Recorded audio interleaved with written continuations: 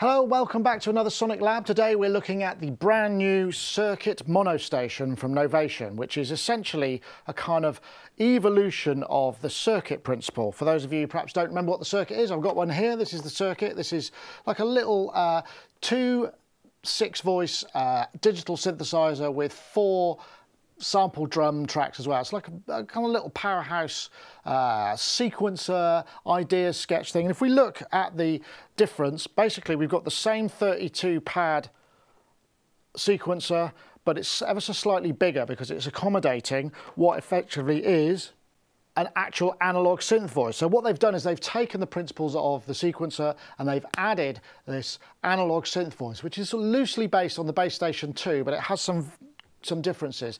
Ooh, you might think, a Bass Station 2 in a uh, sequencer package from the circuit. Not quite like that. It's a sort of simplified Bass Station 2. Bass Station 2 obviously had two LFOs, two envelopes. This is much more simplified because it's only got a single LFO.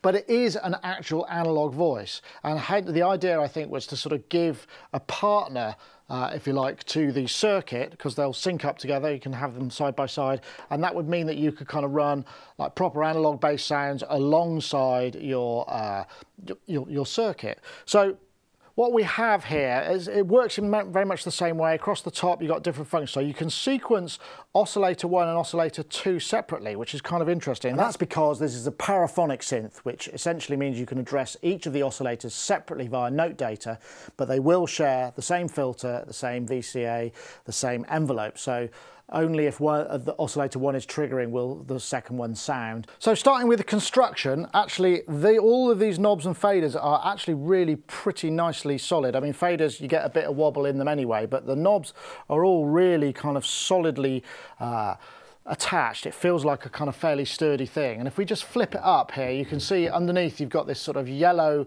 uh, rubber rubberized padding, which is the same as you get on uh, some of the other Novation thing. Obviously the circuit, you've got blue, yellow is the color of the mono station, and uh, that matches some of the accessories that come with it. But if I hold this up here, and just get that into focus, you can see we've got a whole bunch of different connectors here. And the first thing, if I start here, uh, as well as a line out and an audio input, because we can process external audio, you've got these mini jack MIDI uh, connections in, out and through. And so just coming along here, we've also got clock in and out, again on mini jacks. So that will be external and internal clock, so you can run that from analog modular gear.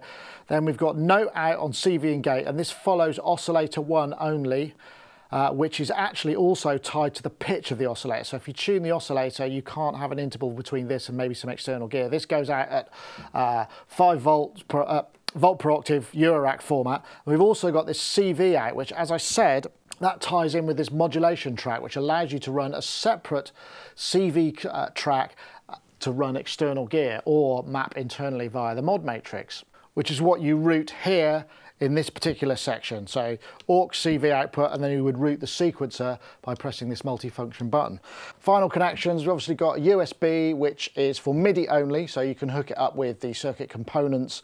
I guess that will probably also be via web MIDI or standalone. And then finally, we've got an external power input. Remember, this doesn't run on batteries like the circuit. And again, it doesn't have its own internal speaker. And just coming back to the pads, these 32 RGB backlit pads are also velocity sensitive. Uh, you can access oscillator 1 or oscillator 2 or pressing them both together gives you the ability to play both oscillators you know, as a sort of dual keyboard mode if that's what you want as well. So let's take a listen to the basic building blocks and see what they sound like. Starting off, we've got uh, sine wave, plus or minus an octave on the coarse, plus or minus a semitone on the fine tune. Triangle wave, sawtooth wave,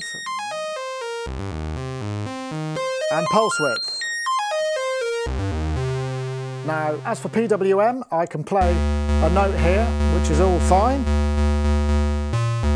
but I can also adjust the pulse width modulation. So if I play this pattern by pressing shift and turning the fine knob, which gives me the pulse width, which of course I could always automate that as well if I want. But, but more likely, I'm going to use the modulation matrix and I'll probably use the LFO. So if I now play this pattern, actually before I do that, I should notice that if you, when I'm pressing oscillator one, it goes purple, oscillator 2 goes green, so you know which one you're routing, which is actually a neat little feature. So now what I'm going to do, go back to 1, play my pattern.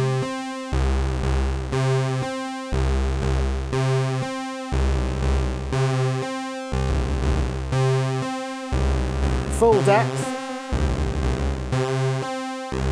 You notice I'm not getting the full through zero pulse width, which is a bit of a shame. I always like to see that because it gives you some extra rhythmic possibilities. But while we're here, quick word about the LFO. Uh, that can be synced or it can be free running. In this mode, we got free running. And it goes up pretty high into audio rates, which is pretty cool. But we can also sync it. And when you sync it, the interesting thing is, is it becomes it re-triggers. So not only does it sync uh, to the internal clock, but it syncs to key trigger. So that sort of sync button is a dual function. Triangle, sawtooth, square wave, sample and hold are the waveforms. And as I say, in free running mode goes pretty high up into audio rates and in sync mode you sync it to the master tempo in various beat divisions. We've also got the possibility to sync the oscillators too, and that's accessed by the shift function. Pressing shift and oscillator 2 will now sync oscillator 1 and 2. So now if we bring oscillator 2 up, and then switch to oscillator 2 and modulate the pitch. We get that classic tone. Uh, we can also obviously modulate this via the uh, mod matrix. So if we wanted to modulate the pitch via the envelope, we would just or via the LFO. We've got those possibilities, but it does sort of highlight the, uh, the problem of only having a single envelope. If there were two, uh, just via a little switch, that would really help because then we could have those two separate modulations. So there's another little trick. You may have noticed there's a ring mod uh, fader here, and that's because we can set the ring mod between oscillators one and two. I've got, if I go into shift note, I've got full range. I press them both and I've got the two keyboards. If I turn those down, just bring the ring mod up, We can get those kind of little tones just by tuning different intervals between the two oscillators. But here I can apply uh, glide to just oscillator one. So I'm going full glide, come back to note shift, shift note, sorry, then I've got the full keyboard.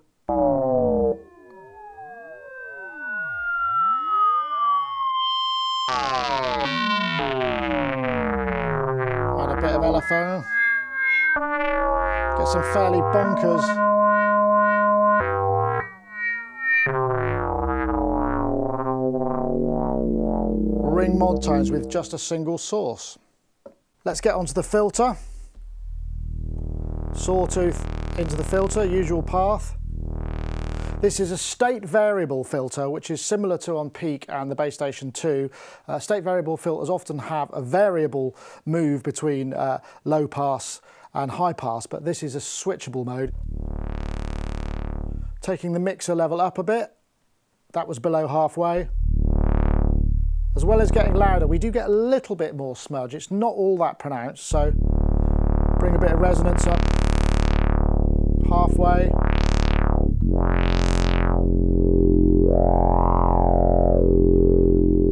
Take the dropping the level back down. You do get that slight change of character in the resonance and then, and then full. Does that sort of screaming, bubbling sort of stuff. Uh, check the uh, 12 dB.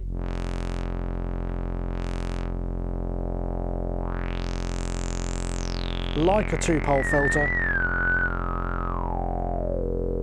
Get those nice musical harmonics, which are just a little bit more subtle, I think, and very nice sound to that. If you want more drive, you can always add more drive into the filter with the overdrive.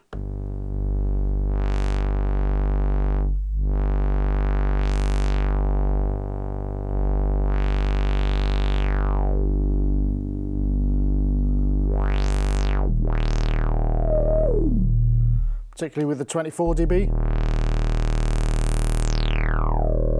Get that, that kind of classic bass station into a distortion pedal type vibe. But you can also add some extra distortion with this uh, button here, which is the distortion knob. So we take that up, we really start to get that sort of crazy over the top, three different types. A bit more subtle, number two. And number three, which is more like a kind of fuzz pedal. So you can really get that kind of mad over crazy business if you want. Okay, so let's see if the filter track, take the oscillators down, put it up to full resonance.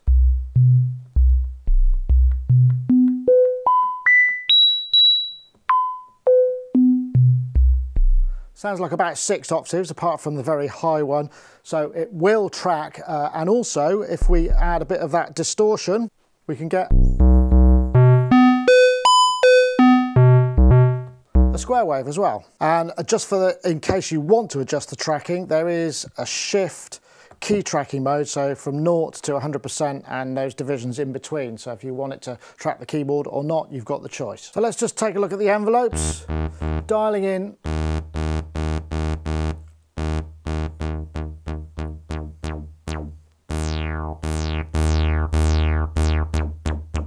can get some pretty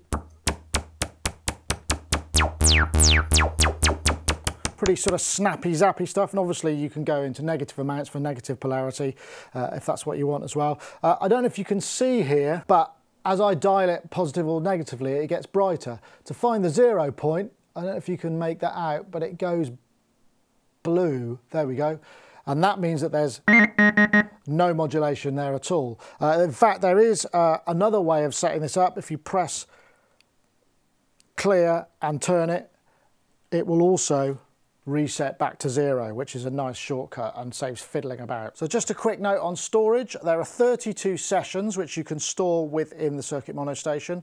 Uh, remember, Oscillator 1 has 60, up to 16 patterns per session, Oscillator 2, 8, and also uh, the Mod 8. You can also store up to 64 patches, uh, which are total recall of the full front panel. These are in two banks, and you just basically bank between them using the octave buttons. It's also possible to set the MIDI channels for oscillator 1 and oscillator 2 and that's a shift power on function you get to the basic settings.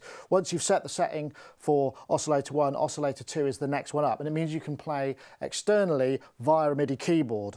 Oh, whoa, where did that come from? Well, I've added some extra gear to try and demonstrate the sequencer because the sequencer is a big part of the Circuit Mono Station. I should also point out that the actual original circuit, the interface design and the implementation of the sequencer and all of the other parameter things is actually a thing of genius. You know, the team behind it have done a great job and everybody sort of seems to find it very easy to use and it's very kind of hands-on. And we've got the same sort of thing going on on the circuit mono station. We've got three sequencers. We've got oscillator one, oscillator two if we want to uh, run the different intervals or different notes, and then we've got a mod sequence. And the mod sequencer allows you just to hit these kind of each per step. You've got you can dial in the amount of modulation that you want in this via each step. Fairly straightforward, and then you route it via the uh, the modulation matrix. So let's just play this quickly. So I've just got a straight one bar, straight note, sustained square wave type of thing. So what I'm going to do now is I'm just going to dial in a bit of filter because what I've got is the LFO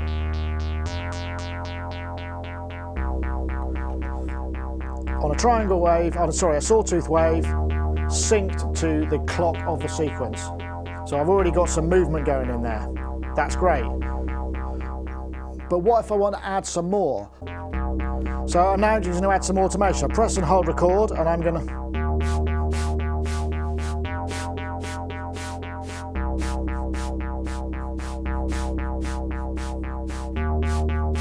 So you see my automation is moving and I could make that for any of these parameters that is not a switch. So that's actually pretty cool.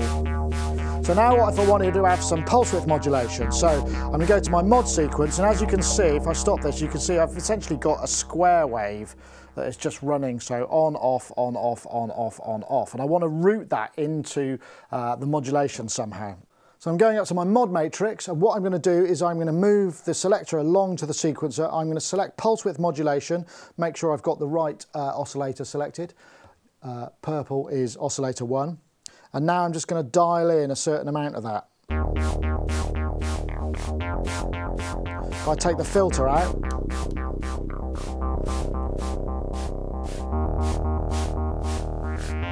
should be able to hear that more clearly. So if we go to our, you see we've just got the straight square wave with a little bit of variation in it. Now this introduced some interesting things because we've got other pattern settings so we can we can divide, multiply or divide the clocking of each pattern. So that's doubled up. So I'll go, let's go slow it down a bit. But what I can do is I can also now smooth that. So now we get this kind of slew on that mod matrix bus.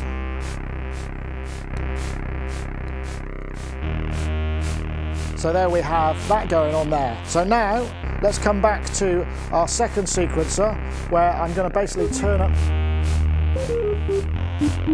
I've got another line, so if I just turn these down, I've got this running on just a, a sine wave. And also it's bypassing the filter, as is the noise. What I've done is I've bypassed the filter for the noise and the oscillator, so now I've got this stuff going on. And what's actually cool about this, if I take this down a little bit, we've got some additional pattern settings. If I press shift and gate, I can add some portamento right up to way too much. And that can be per step, so you can get those kind of 303 slides if you want.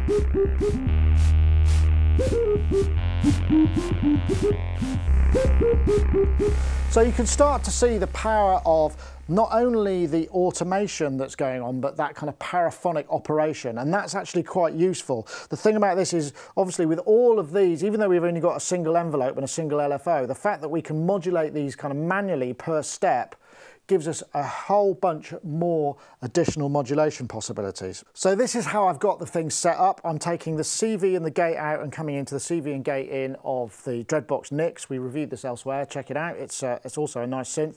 And then I've got the AUX CV output coming out and going into the filter modulation. So if I just press play, the CV is being driven from oscillator one part. And it's not just the notes, it's also the pitch, so if I change the pitch of oscillator 1, it changes the pitch of the external CV. I'm guessing because they share the same voltage. So let's now get into a bit of uh, busing. So what I'm going to do is I'm just going to hit the AUX CV button, which you can see here. Now I'm going to dial in a bit of LFO mod. So now LFO is running into the Nyx and modulating the filter.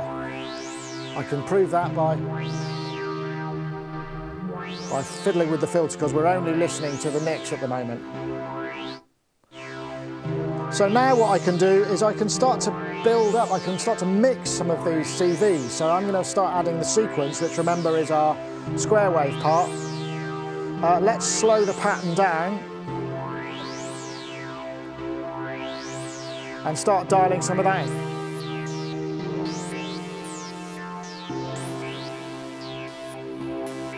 So now I've got the LFO doing a sweep, whoops, doing a sweep, and then I've got the mod sequence modulating around that and that's being mixed together. And what's good about that is it means that we can actually blend together CV signals from uh, the envelope, the LFO, the sequence and also velocity channels and mix them together out to this auxiliary port which makes it actually quite powerful for controlling external equipment and creating these kind of mod buses and also uh, that means that it's all tempo synced to the master sequencer or whatever it is that you're using to run because obviously this will sync to external clock or external MIDI, uh, however you want to run it. And just a word about that CV out. The AUX CV out is just a control voltage. It's not something that you can scale to be uh, as precise as a, a, note control CV output as well. So one last thing, I'm just going to bring in a Volca because I'm sure you want to know whether these will sync together. And I'm just going to bring all of this stuff down and then maybe I can add in. So uh, what I've done is I've taken the clock output of the circuit monostation, gone into the Korg Volca input and I haven't adjusted any settings. You can actually change the settings because you've got uh, 2 PPQN and it goes from 1 I think up to 16 so this is just default as it goes. So if I just press play.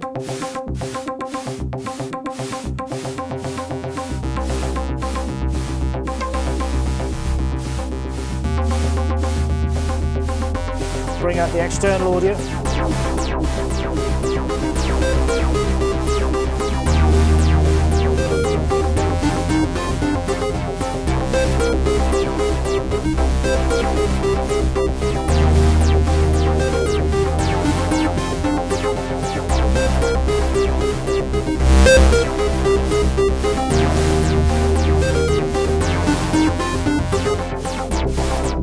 add a bit of extra automation.